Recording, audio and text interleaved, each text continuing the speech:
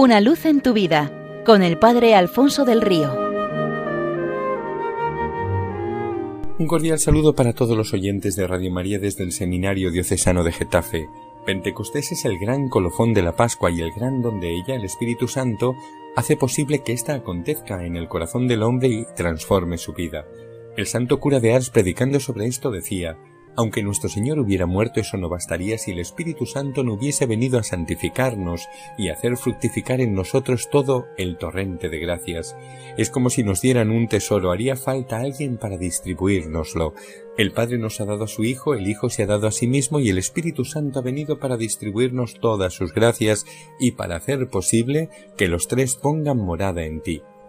En este mismo sentido, un abogado ateo francés fue enviado desde Lyon hasta Ars para comprobar qué estaba sucediendo en aquella recóndita aldea hacia donde los ferrocarriles habían tenido que redoblar sus líneas dada la demanda de peregrinos.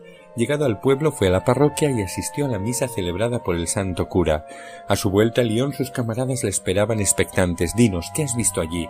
He visto a Dios en un hombre, respondió con contundencia y es que eso es lo que sucede al cristiano que dispone su corazón como morada e invita al Espíritu Santo a ser dulce huésped del alma. Y el beato Juan Pablo I en una catequesis sobre el mismo tema comparaba a los cristianos con tres tipos de barcos y la vida cristiana con una singladura hacia la eternidad, y distinguía tres modelos, los que viven esa travesía como si fueran barcos a remos, avanzando lentamente con mucho esfuerzo, los que prefieren desplegar velas y esperan ser llevados avanzando sin tanto esfuerzo pero de manera intermitente, y aquellos que llevan dentro de sí un motor que les impulsa de manera constante, sin depender de vientos ni corrientes ni de su esfuerzo. Estos últimos son los que dejan anidar en su corazón al dulce huésped del alma, que les impulsa a navegar con la fuerza de la Pascua tan pronto como el Señor da la orden de zarpar. Estos son los que llegan al puerto de destino, superando todas las distancias o las vicisitudes del trayecto gracias a esa fuerza que les impulsa desde su interior. También recordaba el Papa Luciani que a comienzos del siglo XX, cuando la electricidad empezaba a llegar a las ciudades, se podían ver casas con carteles que decían se alquila con o sin energía, es decir, con o sin electricidad.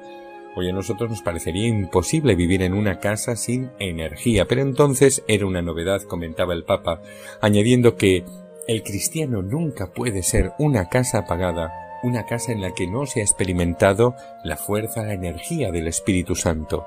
También se cuenta de él que los sacerdotes de cierta diócesis estaban discutiendo acerca de quién vendría aquel año a predicarles los ejercicios espirituales. Algunos eran partidarios de pedírselo al obispo de Vittorio Veneto, Monseñor Luciani, pero uno no estaba de acuerdo y les dijo Oyéndoos hablar así de él, cualquiera pensaría que Luciani tiene el monopolio del Espíritu Santo. Uno de los partidarios le respondió Es al revés. El Espíritu Santo es quien tiene el monopolio de Luciani y por eso queremos que venga él. Después de aquello imaginad quién predicó aquella tanda, el Espíritu Santo por boca de Monseñor Luciani. En cierta ocasión, en una tarde de lo más desapacible, un hombre trataba de llegar hasta la estación arrastrando dos pesadas maletas. Llegó un momento en el que estuvo a punto de derrumbarse. Justo entonces apareció a su lado otro que le cogió los maletones y le dijo con voz extrañamente familiar Vamos en la misma dirección y parece que necesita algo de ayuda. El viento no cesaba de soplar y la lluvia de caer. Cuando llegaron al abrigo de la estación, el hombre preguntó a su inesperado acompañante Por favor, dígame su nombre.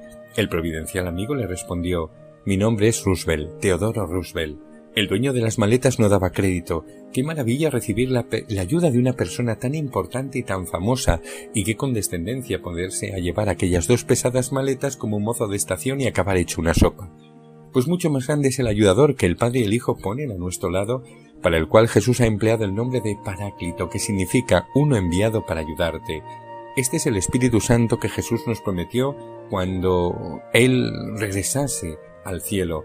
No tenemos que enfrentarnos solos a las inclemencias de la vida, ni llevar con nuestras solas fuerzas todas sus cargas. Tenemos un ayudador celestial para darnos fuerza y aliento. Aprovechémoslo.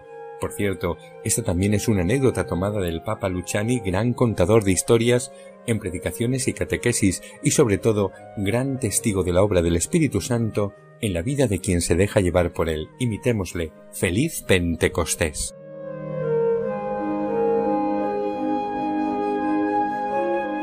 Una luz en tu vida con el Padre Alfonso del Río.